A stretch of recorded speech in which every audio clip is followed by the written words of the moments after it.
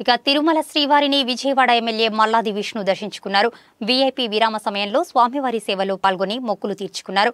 మల్లాది విష్ణుకు స్వాగతం పలికిన ఆలయ అధికారులు దర్శన ఏర్పాట్లను పూర్తి చేసి స్వామివారి తీర్థ ప్రసాదాలు అందించారు. సీఎం జగన్ పాలనలో ఏపీ ప్రజలు ఆనందంగా ఉన్నారని ఆయన అన్నారు. సీఎం జగన్ తీసుకుంటున్న నిర్ణయాలు పేద ప్రజలకు ఉపయోగపడేలా ఉన్నాయని కొనియాడారు.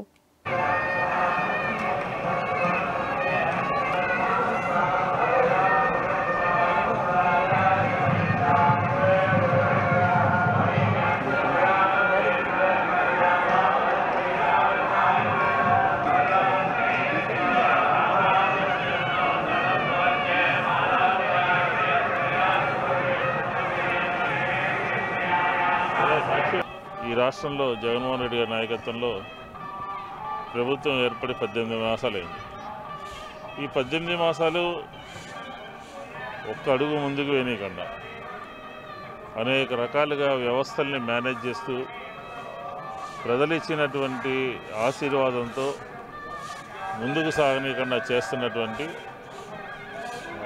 ప్రతిపక్షాలు.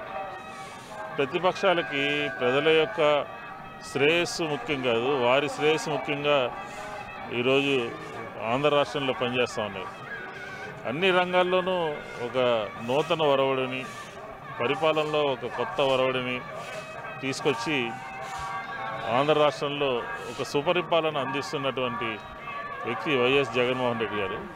ఆయన నాయకత్వంలో ఖచ్చితంగా ఈ ఐదు సంవత్సరాల్లో బ్రహ్మాండమైనటువంటి ఫలితాలు వస్తూ ఉన్నాయి.